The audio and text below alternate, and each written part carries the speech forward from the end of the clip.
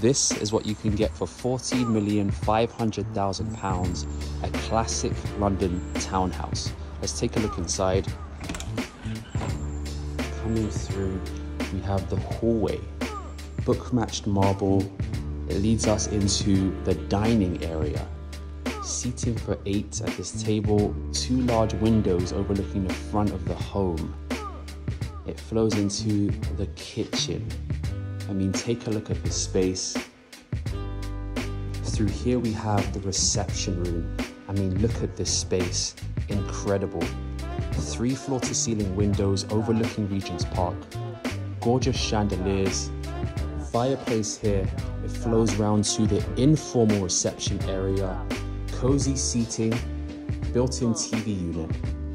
Let me know what you think in the comment section down below and like and follow for more London Real Estate.